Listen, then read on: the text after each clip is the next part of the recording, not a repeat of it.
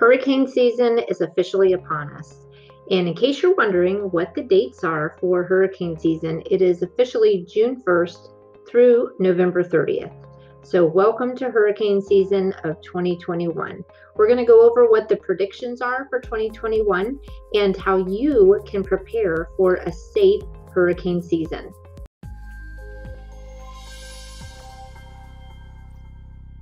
Before we jump into that, I want to introduce myself. My name is Brandie with Mathison Klein Group. I'm a local realtor here in Florida. And uh, Central Florida and Florida in general is a very big hotspot for hurricanes. And so we want to make sure that you are adequately prepared. Before we move forward, be sure to check out our uh, website at brandiesells.com and also be sure to click on the like button and subscribe to our YouTube channel. This year, NOAA is uh, predicting that the hurricane season is going to be about 60% above average. And so, with that, this is what they're predicting as far as the number of storms that we are predicted to have. So, for 2021, they're predicting anywhere from 13 to 20 named storms. Now, named storms, those are going to be anywhere from 39 miles per hour or more out of those 13 to 20 named storms, they're predicting that six to 10 of them could become hurricanes. A hurricane is a storm that is 74 miles per hour or higher. They are also predicting that there could be anywhere from three to five major hurricanes. Now, major hurricanes, the mileage starts at 111 miles per hour and goes up. So, what do you need to do to prepare for hurricane season? First and foremost, um, I personally have been in Florida now for over 20 years, and uh, we've had some seasons that have been extremely active where we've had, you know, storms that literally have come right through. The eye of the storm has come right through our city. And then there's others where, you know, it's missed us or it's been in different parts of the of the state. And what I can say for certain is that we typically will have a few days notice, but the minute that we start getting that notice, uh, then typically some of the first things that everyone is a frenzy for is um, getting gas and then also going to Home Depot and Lowe's, and um, they are buying generators, they're buying um, plywood, and they're buying batteries and all of those different types of things. So I'm just going to encourage you to go ahead and get some of those things ahead of time. One of the other important things is to have a written plan in place.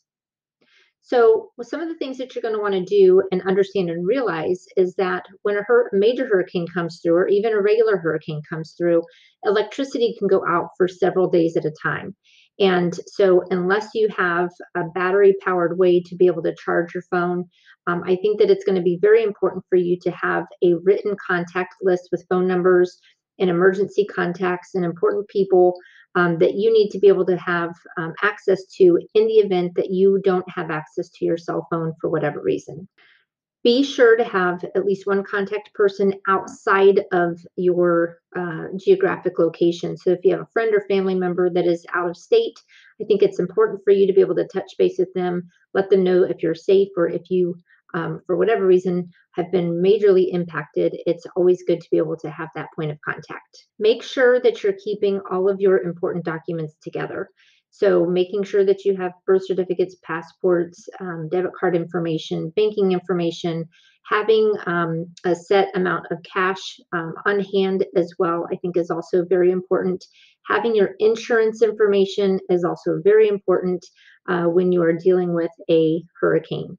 Make sure that you're sharing that plan with your family members. Another really important thing that you might want to take into consideration and doing it early on instead of as a hurricane is coming, because as a hurricane is coming, it's going to be too late and you're not going to be able to do anything, is to just do an insurance checkup. So check in with your insurance company, make sure that you do have your coverage in hand. And one thing that you may want to consider is getting flood insurance if you don't already have it. So in the state of Florida, if you're not required to have flood insurance, flood insurance is actually very affordable. And uh, hurricane coverage does not cover flood. Uh, so, in the event that we have a lot of heavy storms and, and rain that's coming through, and it comes in through uh, through your house, let's say with flooding streets or something along those lines, your hurricane coverage will typically not be covered uh, for that water damage. So having flood insurance is going to be very important. So I would just recommend that you contact your insurance company and see what the cost would be to get a flood insurance um, coverage for your home so, that so, so that you just know that you're covered on all bases. Another thing that you can start working on right now is making sure that you have a checklist of things and supplies that are readily available. These days, it's very easy to be able to um, either go to the store or order things um, online so that you have something in place. Um, making sure that you have enough medications on hand at all times, making sure that you have enough water and food supplies to last for you, your family, and your pets for at least a week's time, I think is going to be very important. You want to make sure that you have additional cash on hand, making sure that your cars are always full and topped off on gas, and maybe even having a couple of extra um, tanks of uh, containers of gas available, along with if you want to be able to purchase a generator or something along those lines in case we do run out of power, you're able to maybe still run your refrigerator or some fans because during our hurricane season, it's right smack dab in the middle of the summer, and it can be pretty unbearable when the electricity goes out for a week. You also want to make sure that you have extra batteries, um, making sure that you have lanterns and um, some ways of being able to see um, a way to be able to charge your cell phone and also having a radio so that you can stay in communication with what is going on outside in case you don't have any kind of electricity or anything along those lines. So those are all very, very important things that you can go ahead and work on and do now so that in the event that something comes along, you're not out there with the rest of the people that did not prepare and you are stuck with no supplies. Another really important thing to take care of as um, now you could start on this now if you know that there's things on your honeydew list that you need to take care of, or if you know that a hurricane is out there and you're still a few days out, making sure that you're taking the time to secure all of your outdoor things. So that would include lawn furniture, that would include your grill, anything that's outside that could become a projectile, you want to make sure that that is secured. Um, also, making sure that you're looking up and seeing if there's any tree limbs that need to be cut back or anything along those nature that could possibly fall on your vehicle or on your home. You want to be proactive instead of reactive in those situations because how devastating would it be if you looked up, you said, Oh, I really need to trim that tree limb, and you end up not trimming the tree limb and it ends up falling right onto your car what a mess that's going to be, or, or worse yet, uh, falling into your roof of your house in the midst of a hurricane. That would be very dangerous and devastating as well. If you have the ability to move your car into a garage, that would be absolutely ideal.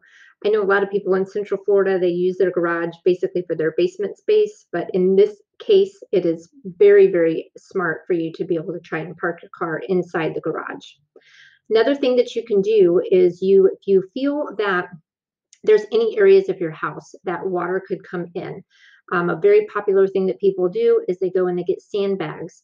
So they put those sandbags maybe in front of the door of their house or the sliding glass door on the back of the house. With hurricanes, a lot of times the rain is coming at a horizontal angle for hours on end. And so just being sure that you've got extra towels on hand in case you do find that there's water intrusion, being uh, proactive with sandbags.